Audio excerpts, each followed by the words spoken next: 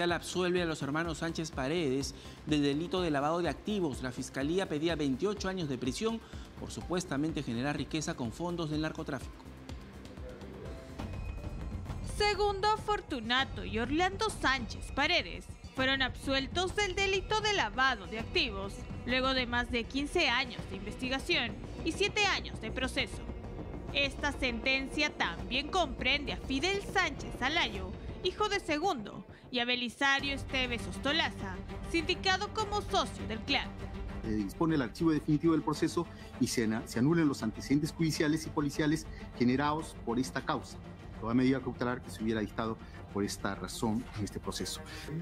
De esta forma, los jueces Juan Santillán, Francisco Mendoza y Máximo Maguiña rechazaron el pedido fiscal de 28 años de cárcel.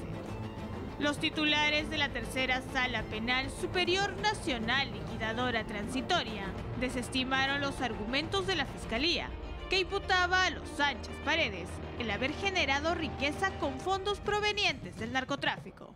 Pero ¿qué ha hecho el Ministerio Público? Desde un primer momento. Esas actividades eran inexistentes, esas actividades no son ciertas. Dos años debatiendo con el perito Hidalgo donde se bombardeó documento por documento. Los magistrados no consideraron los reportes de la DEA por supuesta poca fiabilidad al ser de fuentes no identificadas. Además, alertaron de inconsistencias al vincular a los Sánchez Paredes con las empresas creadas con el supuesto dinero del narcotráfico.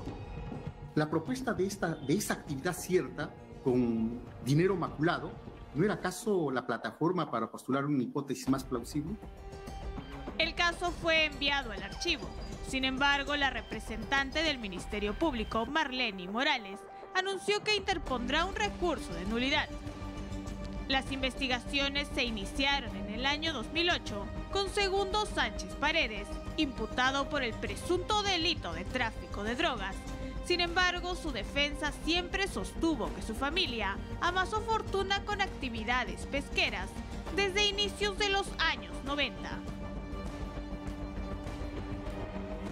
Bien, ahora les